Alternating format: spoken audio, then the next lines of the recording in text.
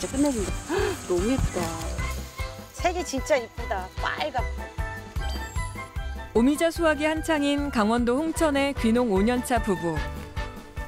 빨갛게 익는 걸 보니까 기분도 좋고 고생했네. 집사람이 아주 고생 많이 했어.